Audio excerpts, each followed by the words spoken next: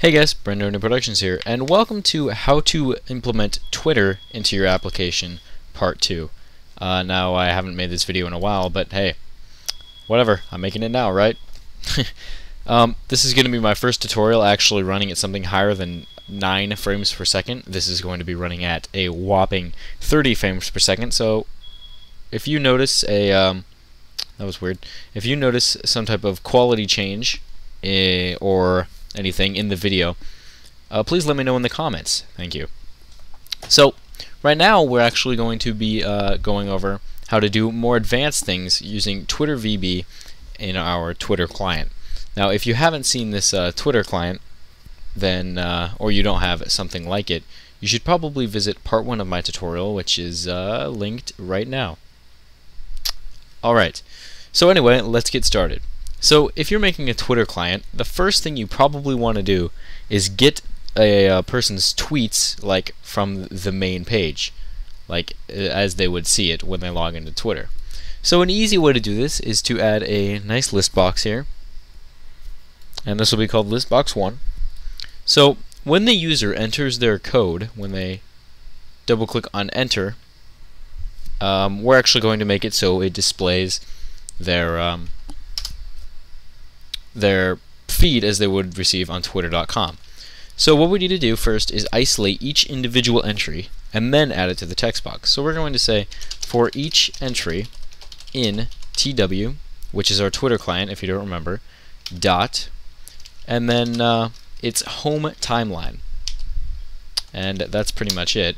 And then, I don't know if we need to provide any more information here. No, we don't we're going to say listbox1.items.add entry dot to string just to make sure. And uh, there we go. So now we've got a nice, uh, it'll be added as soon as we press enter. And as you can see here, we also have a lot of information that we can add to this. For example, we can actually add the user that posted it, mm, the text, I think we're actually going to have to do entry.text dot toString. So now let's go ahead and test this out. So we're going to debug our application and we're going to press open code. Just authorize that with my Twitter account. And then we're going to type in the code 8511388. Enter. And as you can see, um, all the Twitter updates, the recent Twitter updates, are right here in this list box. Now we can do something even more advanced, and um, we can create a list view here, and we can uh, go down here where it says view, and then we can change it to details. Also a few other items we should probably change, but for tutorial purposes we're not going to do that. And then columns we can add to. This one will be um, the text will say user and this one will be post. So as you remember from our list view tutorial, we're just going to want to add more information to our list view. Now let's see if I remember how to do this. So first thing we're going to want to do is say list view 1 dot begin update. And we're going to say dim let's just name it n as new list view list view item. N dot uh,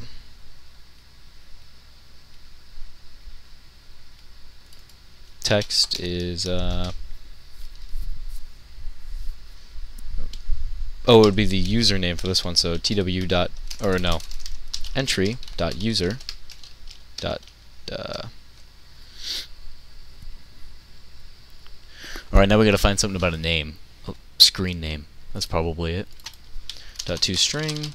And then we're going to say m dot sub items dot add text. This will be tw dot uh, or no entry dot text dot to string and then uh, I think that's all we need to do.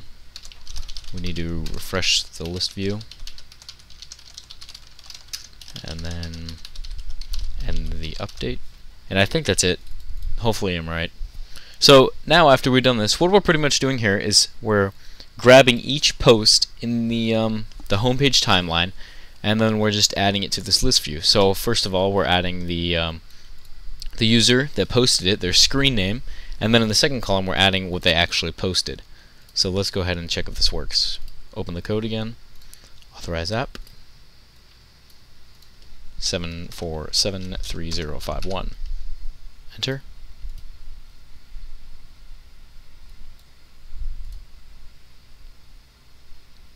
Okay, apparently that did not work. You know what I'm going to do? I know it's because my list view code's off, so I'm actually going to go to my own list view video and uh, check it out. Be right back.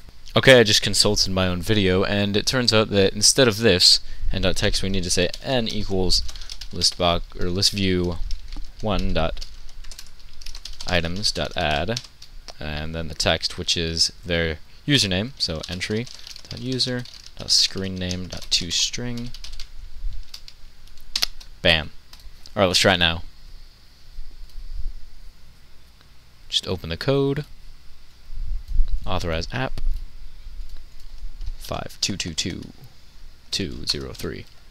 Enter. And now as you see here we have their username and um, what they've posted. So you can see here the Windows has posted join us for tomorrow uh, yeah. Pretty interesting stuff, I suppose. So now we can even go more in depth. As you saw there, there is plenty of ways to go more in depth with this um, plugin. For example, if we go back to Form 1, we can actually um, add a new column.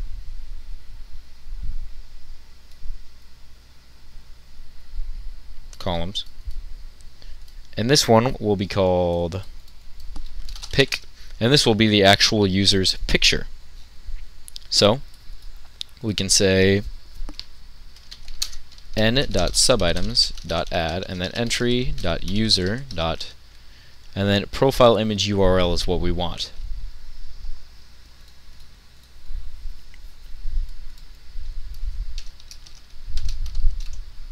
Wait, we don't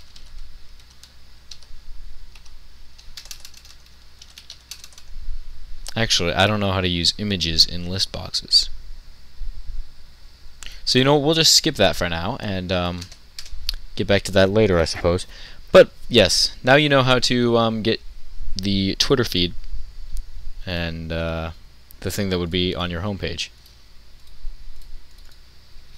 So now what we want to do, uh, let's just say you want this to have a nice design and you want your profile picture when you entered to actually be displayed on the application itself. So we're going to create a nice picture box here, make it nice and big.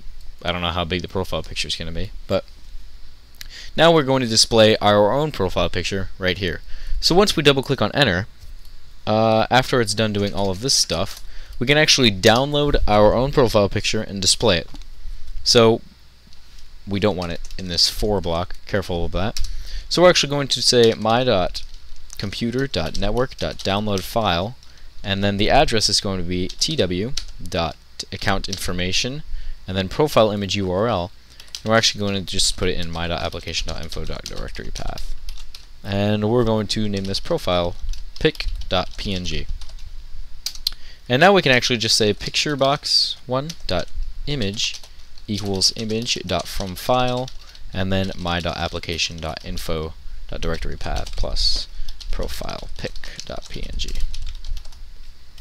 So now that we've got that all settled, um, what we're pretty much doing is we're just downloading the picture and then setting it as the uh, picture box's image. This image.from file is just telling Visual Basic to um, transform this file into an image variable. Pretty simple stuff. So now we're going to try this. We're going to open the code. Oops, I always forget to do that. 7200371 and then we're going to press enter. And as you can see here it does everything we want it to. It gets our username down here. It gets our uh, feed right here and then it actually puts our profile picture right here. So now we can uh, add more, now that we've got all the information we need, let's say, we can actually add more functions to for functionality to this program. Like say you want the functionality to send a direct message to the selected user in the list box. So let's say you double click a user and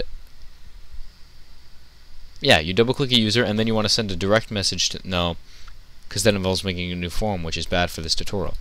So what we're going to do is we're actually just going to create a uh, another text box here and then a button and then let's just put a label. So send direct message to and then we also need uh, the place to type the actual message itself.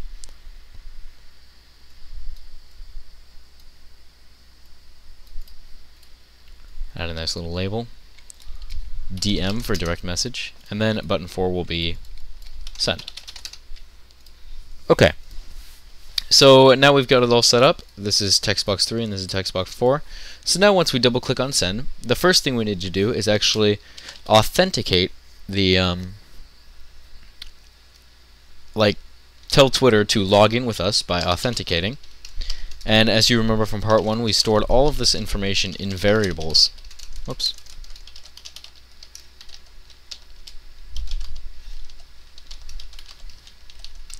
Okay, so now that we're authenticated, we can actually just um, send a direct message right here, and the user that we want to send it to, which is textbox 3.text, and then the text, which is textbox 4.text.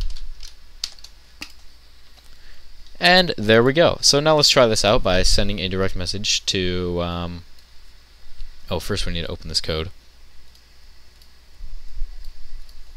8102.436.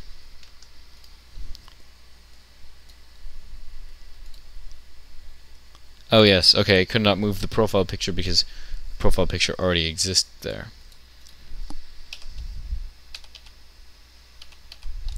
Okay, so let's tell it to automatically overwrite uh, this file.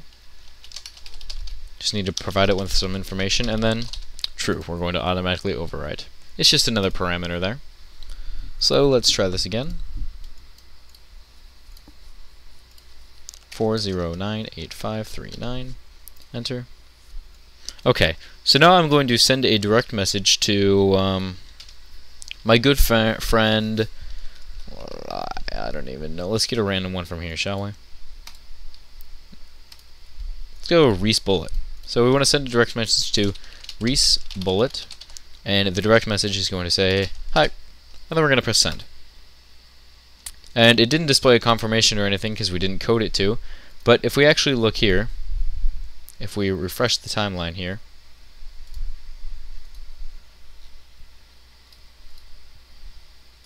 okay, maybe not. I don't know exactly how to look at uh, direct messages. Let's just go to Twitter and then, uh, oh, messages. Here we go, messages. And there we go. As you can see here, 26 seconds ago, we said hi to Reese Bullet.